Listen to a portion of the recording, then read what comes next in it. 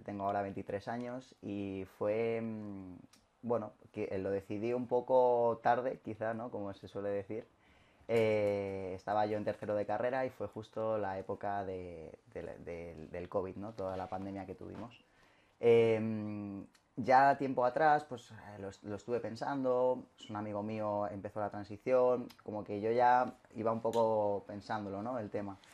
Y sí que es verdad que fue esa época que nos encerraron durante tanto tiempo en casa sin poder movernos y tal, que, que ya un día yo me levanté y era pues esa sensación de estar encerrado, no poder hacer nada y tal. Me miré al espejo y dije, es que ya no puedo más, necesito, necesito contárselo a la gente, necesito que me reconozcan como soy y necesito empezar con, con la transición para encontrarme bien con, conmigo mismo, ¿no? Yo eh, como que me lo negaba, ¿no? También a mí mismo hasta que ya te digo, el momento ese de, la pandemia en el, que, en el que dije, es que tengo que aceptarme, o sea, tengo que aceptarme, soy un chico trans y, no voy a estar a gusto conmigo, que eso es un problema que tenía yo antes también, que no estaba a gusto con mi cuerpo, no estaba a gusto con mi forma de relacionarme, era muy social, pero no, no, no me gustaba ¿no? Mi identidad. Hasta que ya lo acepté y dije, vale, pues es que soy un chico trans, lo tengo que aceptar y empiezo con ello. Entonces fue un poco el momento en el que decidí hacer ese, ese paso. Eh, tuve problemas porque al final, pues con toda la pandemia que tuvimos a nivel sanitario, fue difícil. eh, no me dieron las hormonas en ese momento, sino que me derivaron seis meses después. Empecé como un poco tarde y finalmente, pues ya te digo, lo decidí más o menos en marzo que quería empezar con, con la hormonación y hasta octubre de 2020 no, no me dieron las- la, la testosterona y las hormonas. Así que fue ahí un tiempo un poco delicado en el que yo ya estaba con esa ansiedad ¿no? de querer empezar y todavía no podía, pero, pero bueno, luego ya empecé y a día de hoy llevo ya dos años y medio prácticamente en hormonas y estoy muy contento. For you, this transition, it uh, it was was it more easy than difficult, or was it difficult? I mean, did you suffer from it, or on the contrary? Eh, esa etapa entre marzo y octubre, hasta que me dieron las hormonas, para mí fue muy difícil. Fue una etapa eh, de mucha ansiedad, de decir, vale, ya lo he aceptado, ya se lo he dicho a mi gente, quiero que empiece a ser real, ¿no? Porque al final como que no te toman en serio, no tanto mi círculo cercano, que eso al final pues te quieren y, y te respetan y te protegen también, pero de cara un poco a la sociedad, pues la gente no, no me reconocía. A lo mejor iba a una gasolinera me hablaban en femenino, o eh, todavía pues muchos profesores de la carrera, por ejemplo, no lo entendían, no lo respetaban. Y fue un momento de decir, "Mm, quiero que esto se acabe ya, quiero empezar a, a hormonarme, quiero empezar que haya cambios en mí para que la gente se dé cuenta de que realmente pues soy Ezequiel y que, y que me tienen que tratar como lo que soy al final. Entonces eso fue difícil. Sí que es verdad que una vez que ya empecé, eh, lo demás ha sido, ha sido muy fácil y ha sido cómodo, porque por un lado he tenido muchísima ayuda por parte de mi familia, que eso se lo voy a agradecer siempre, y por otro lado, pues eh, yo me apoyé en todo el sistema médico que tenemos aquí en la Comunidad de Madrid, en la unidad de género, mediante pues, una psicóloga que es Nuria, que la adoro y, y me ayuda muchísimo. Nos vemos cada mucho tiempo, porque al final tampoco soy una persona que lo necesita, seguro que hay otras personas que lo necesitan más, pero pequeñas cosas o pequeñas dudas que puedo ir teniendo me ayudan muchísimo. Y, luego a nivel de cambios, pues yo estoy súper contento con todo lo que ha sufrido mi cuerpo, ¿no? Con todo lo que eh, he vivido. Y, además, como he estudiado eh, ciencias de la actividad física y del deporte, pues todos los cambios corporales los he, eh, vamos a decir, los he agilizado un poco, ¿no? Al final, en vez de dejar simplemente o pincharme la testosterona y dejar que eso actuase en el cuerpo, pues he ayudado con ejercicio físico a mi cuerpo a que pues vaya generando esa masa muscular, vaya cambiando, vaya perdiendo esa, esa grasa y esa recomposición corporal.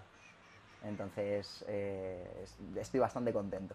Are you, you know, considering or have you mm, considered surgery? Eh, Sí, eh, antes de, de la aprobación de la ley trans, eh, en España y sobre todo en la Comunidad de Madrid, que es donde he hecho yo la transición, nos pedían estar dos años en hormonas para poder eh, someternos a alguna de las cirugías. O bien fuese la mastectomía para, eh, la reducción de las mamas o quitarte las mamas, o para el resto de, cirugías, como puede ser pues eh, no me acuerdo ahora mismo del nombre bueno, pero bueno, el vaciado de ovarios y tal y tal.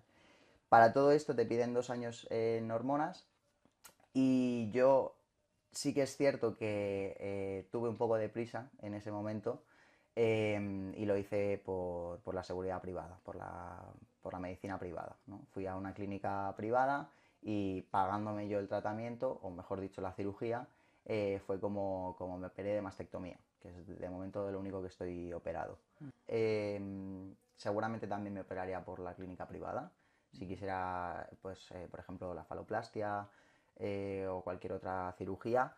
Em, pero sí que, sí que es algo que, en algún momento pensaré.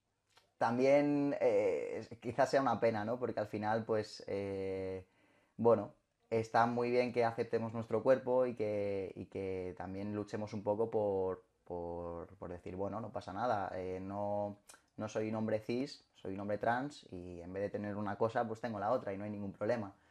Pero, pero sí que es verdad que a mí eh, podemos echarle la culpa a la sociedad o a lo que queramos, pero, pero a mí no me convence ¿no? esa idea. Y sí que en algún momento eh, seguramente me, me opere. What does the, the lay trans change for you? Facilitan mucho los cambios, pero al final es que facilitan la vida de las personas trans porque reconocen, simplemente con reconocer que existimos ya es un, es un puntazo. Y además, eh, si ahora mismo yo, por ejemplo, no tengo todavía cambiado el, sexo registral en el DNI, em, te facilita mucho el hecho de, poder cambiarlo. En el sentido de, eh, yo como he comentado antes, ya llevo dos años y medio en hormonas y con los papeles que me dieron tanto el endocrino como la, mm, eh, la, psicóloga, puedo ir al registro civil, puedo cambiarlo, entregando el papeleo y toda la historia. Pero eh, una persona que ahora mismo empieza su transición de cero, como pudo, me pongo yo en mi mente de hace dos años, por ejemplo, y cuando yo fui a cambiar el nombre, podría haber cambiado también el sexo registral y te quitas un trámite al final. Entonces, eh, son facilidades que, al final, pues eso, nos facilitan la vida y nos permiten eh, no tener tantas dificultades, tantas comeduras de cabeza de, no, tengo que ir al registro civil, entregar estos papeles, luego volver, que me llamen, volver a ir. O sea, al final, eh, bueno, hay muchas personas que, critican la ley trans por eso, ¿no? Por las facilidades que tenemos en poder cambiar eh, el sexo registral. Pero es que es lo que necesitamos nosotros para poder estar tranquilos y no tener mil cosas, ¿no? yo creo que al final eh, eh, lo que pasamos las personas trans o lo que pasa por nuestra cabeza solamente lo puede entender una persona trans. Y, el hecho de que mm, digamos, no, pero es que claro, puedes cambiar de opinión, porque tal, porque no sé qué, bueno, eh, no te voy a decir que nunca se ha dado ese caso, pero si realmente llegas a hacer ese, ese trámite, ese paso de cambiar de nombre, eh, cambiar de, sexo en el DNI, que es que no solamente es en el DNI, el DNI es una tarjetita, pero luego fuera de ahí está tu círculo social, está tu clase de, la universidad o de lo que sea, está tu trabajo, está tu familia, y vas a abrirte también a todo ese tipo de personas. Ese paso solamente lo das si estás totalmente seguro o segura o segure de lo que quieres hacer, porque eh, es un cambio muy grande y cualquier persona trans estaría de acuerdo conmigo en que es como un salto al vacío, ¿no? Como ponerte ahí y decir, me voy a tirar y espero que haya agua debajo, porque mm, si no va a ser tremendo lo que, lo que va a pasar.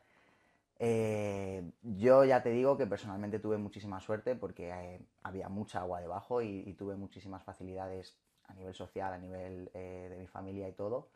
Pero, pero creo que tanto preocuparnos en, no, es que es muy fácil, es que las personas van a poder cambiar de un lado a otra, no, o sea, preocúpate en que realmente a una persona que está pasando por, esa, por ese momento difícil de su vida, vas a ayudarle. Es un proceso muy difícil, entonces eh, no es algo que se vaya a hacer a la ligera. Y la realidad va a ser que vamos a utilizarla a las personas que la necesitemos, igual que se hace con todas las leyes, y que las personas que no la necesiten, pues ya está. Mm. Nadie te obliga a que tengas que cambiarte el género, simplemente permite que las personas que queremos hacerlo podamos hacerlo con facilidades, claro.